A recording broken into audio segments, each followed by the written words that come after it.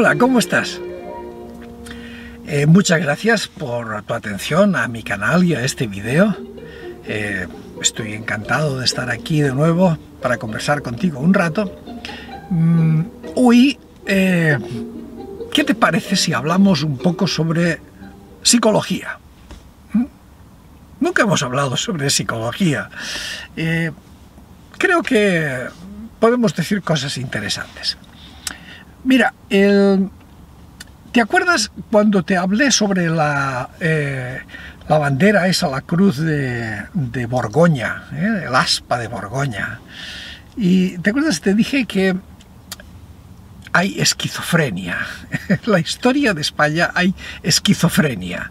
Es decir, eh, unas cosas muy complejas la esquizofrenia probablemente no es tan metafórica como podríamos decir. Em, la esquizofrenia es una enfermedad realmente perversa porque em, tiene varias, varios efectos muy, muy curiosos. Uno de ellos, por ejemplo, y parece que es bastante común en los esquizofrénicos, es que oyen voces. Oyen alguien les habla, oyen voces de repente. Oí una voz que me dijo, haz esto. Bien. Eh, ven cosas, tienen, eh, alucinaciones. ¿eh? alucinan, o sea, se creen que, que, ha venido, yo qué sé, pues Jesucristo y les ha dicho no sé qué, o que se les apareció, no sé, bueno, cosas de estas, ¿no? También se les conoce como, bueno, pues con por la, esquizofrenia también tiene como un síntoma unos como desdoblamientos de personalidad, ¿no? que una persona esquizofrénica a veces pues se comporta de una forma, a veces tú lo ves que es perfectamente responsable, consciente, etcétera, etcétera, y de repente te hace unos cambios que dices, bueno, ¿esto qué es? O sea, esa persona que yo conocí que era tan responsable, ahora resulta que es un loco agresivo, ¿no? Bien, ¿eh? es la esquizofrenia, como que una doble personalidad luchando dentro de uno. Y esto, a propósito de que te vengo a contar estas cosas, pues mira, te lo vengo a contar a propósito, se me ha ocurrido, y que eh, esto explica bastante el comportamiento de esta gente eh, del hipernacionalismo de la leyenda rosa, con respecto a los Estados Unidos de América.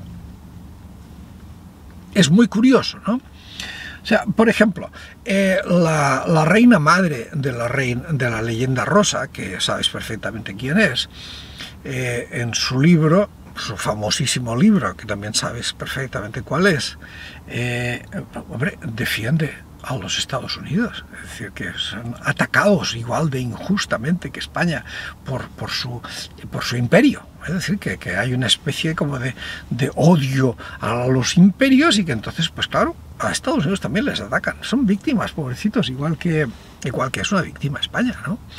Entonces, entonces bueno, eh, pues claro, hay un sentimiento como de afinidad hacia los Estados Unidos.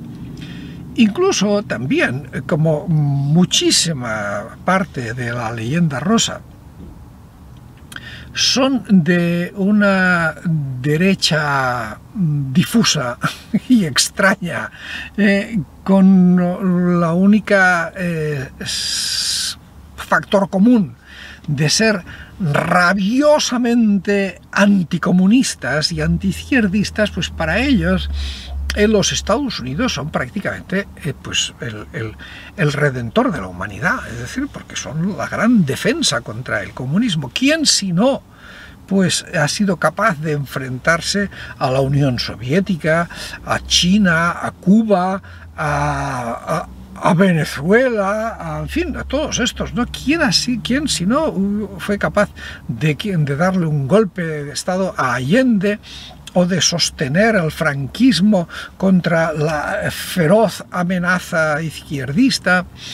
Bueno, entonces, evidentemente, los Estados Unidos, para muchísima de esta gente de la leyenda rosa, pues es el gran bastión de la cultura cristiana occidental, tú sabes, Roma, Grecia, España, eh, el judeocristianismo, todo esto, ¿no? En fin, todo, el paquete completo ¿no? de, de, la defensa de los valores cristianos y del mundo occidental, y etcétera. Entonces Estados Unidos es realmente, uff, eh, es la muralla de contención contra el mal que, ataca por todas partes en este eh, desorientado planeta en el que vivimos.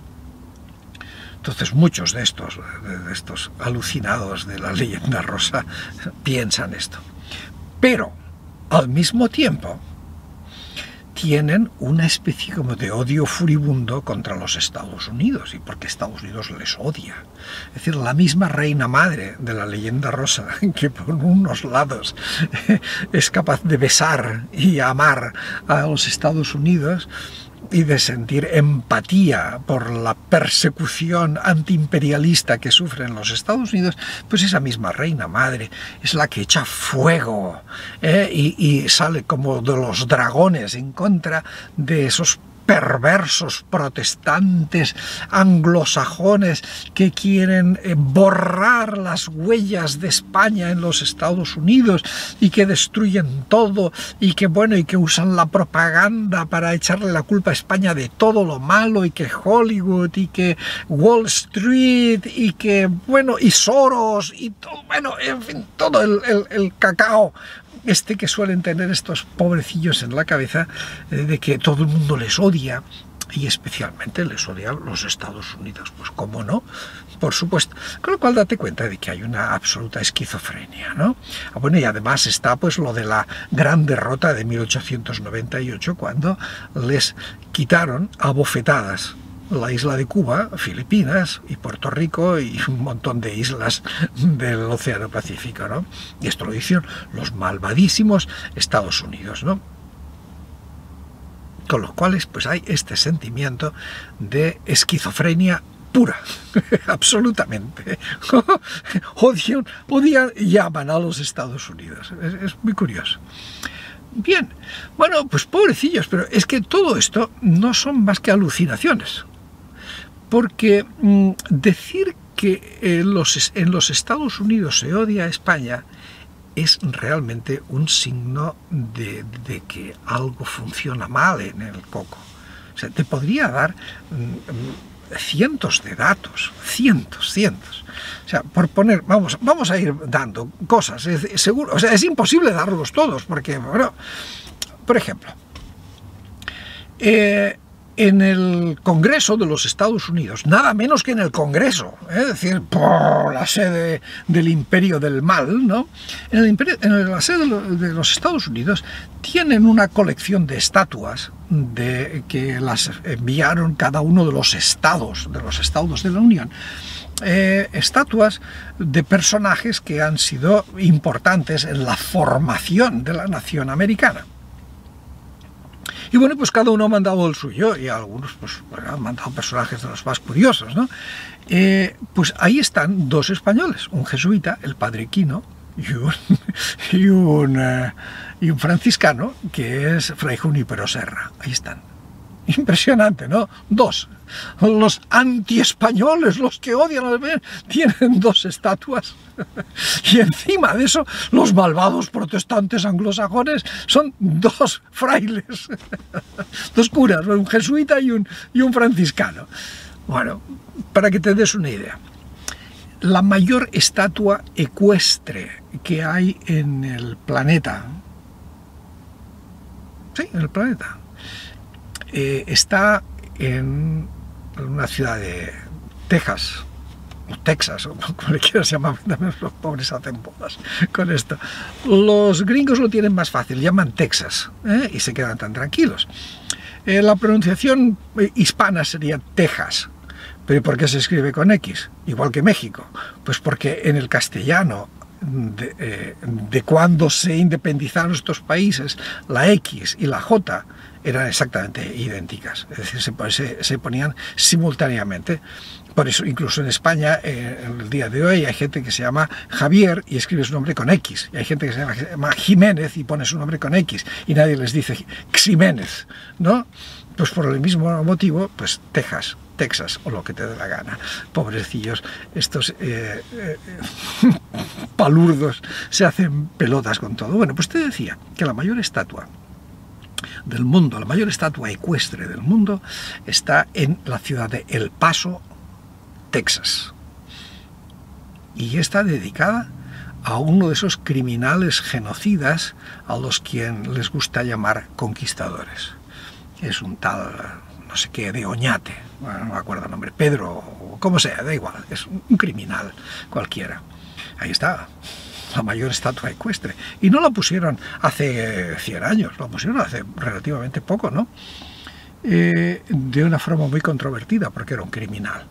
Y entonces una forma de recordar que era un criminal es que los descendientes de los indígenas que ese hijo mm, de mala madre eh, masacró, fueron a cortarle el pie a la estatua, al jinete, le fueron a cortar el pie. ¿Y por qué le cortaron el pie? Pues porque este criminal, entre a, los supervivientes de la masacre que hizo en los indígenas, a los supervivientes les cortó el pie, el pie derecho. Un angelito, la criatura, ¿no? Bueno, pues por ejemplo tienes esto. Eh, en mi última visita al Central Park de Nueva York descubrí que no hay una estatua de Cristóbal Colón en el Central Park de Nueva York. No hay una estatua de, Cristóbal Colón. Hay dos. dos. Eh, es que la, hispanofobia es tan grande en los Estados Unidos. En la ciudad de Houston, por ejemplo, hay una calle muy importante que se llama Old Spanish Trail, ¿eh? el antiguo camino español. ni camino ni nada, porque Houston no existía en el momento en que eh, eso era una colonia española, no existía. Pero bueno, ahí está. En cualquier, prácticamente en cualquier ciudad del sur de los Estados Unidos te encontrarás calles que se llaman así, el Old Spanish Trail, el antiguo camino español, camino real. Te encontrarás urbanizaciones, nombres por todas partes, por todos sitios. Tienes el Álamo, el Álamo, el Álamo con su banderita española siempre ondeando ahí, recordando la cantidad de castillos, de cosas por todas partes que no solamente no están destruidos, sino que están amorosamente preservados, porque eh, es lógico, Estados Unidos es una nación muy nueva, y entonces cualquier ruina española pues tiene 300 años, por lo menos. Entonces para un gringo, una cosa que tiene 300 años es algo que, es casi arqueológico. Es, como para nosotros las catapultas romanas, ¿no? Es decir, wow, 300 años, ¿no? Es decir, cualquier, cualquier europeo puede estar viviendo en una casa vieja que tiene 300 años. Esto para un norteamericano es increíble. Con lo cual, cualquier porquería de cuatro piedras juntas, ¿eh? oh, las veneran, oh, esto, es una, esto fue una misión. Uno mira el álamo y dice, vale, muy bien, lo que tú quieras, pero esto son cuatro piedras, en resumidas cuentas y muchas y las misiones de California y etcétera, etcétera, y montones de cosas más que los gringos las hacen con un amor increíble. El camino, el camino real, que no es ni camino ni es nada. Y entonces, oh, el camino español, el camino español. Bueno, eh, eh, las ciudades están llenas de placas en Nueva Orleans, etcétera, etcétera, etcétera. Es decir, todo este complejo de persecución que tienen estos alienados eh, echándole la culpa a Estados Unidos es pura esquizofrenia. Así de simple. Pura y dura. No hay más. hay que estar absolutamente chiflados. Pues bueno, me pareció bien darte este, eh, este video sobre mm, los problemas psicológicos. Cuídate, Cuídate mucho, cuida tu salud mental, sé feliz y seguiremos hablando. Hasta pronto.